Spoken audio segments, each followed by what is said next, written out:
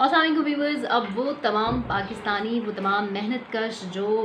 बेताबी से जो है, वो सऊदी अरब जाने का इंतज़ार कर रहे थे, बेताबी से इंटरनेशनल फ़्लाइट्स खुलने का इंतज़ार कर रहे थे और जिनको ये भी इंतज़ार था कि कब ये फ़्लाइट्स ऑपरेशन बहाल होने की वो ख़बर सुने और अपनी अपनी जो है वो नौकरियों पर दोबारा से वो जाएँ तो उनके लिए एक अच्छी ख़बर आ गई है। ये ख़बर क्या है, मैं बताऊँगी अपनी इस वीडियो में, लेकिन उससे पहले आपने हमारे यूट्यूब चैनल को सब्सक्राइब कर देना है बेल आइकन प्रेस करना है, ताकि डेली बेसिस पर ये वीडियोज़ मिलती ही रहें। तो जनाब तमाम ही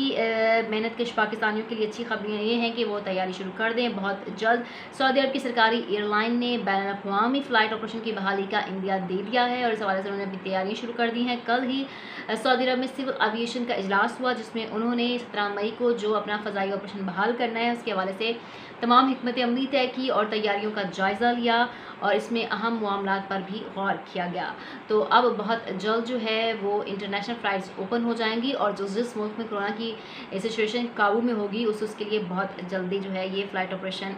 बहाल कर दिया जाएगा। ताहम, मेरा मशवरा ये है कि आपने अगर सऊदी अरब जाना है तो आप वैक्सीनेशन अभी से लगवा लें। हो सकता है कि इस अमल को वैक्सीनेशन से मशरूत कर दिया जाए और वैक्सीनेशन अगर आपने लगा लिए तो फिर आप महफूज हो जाएँगे और ट्रैवल करना भी आपके लिए आसान हो जाएगा। अपने बहुत ख्याल रखिएगा और हमारे यूट्यूब चैनल को सब्सक्राइब कर दीजिएगा।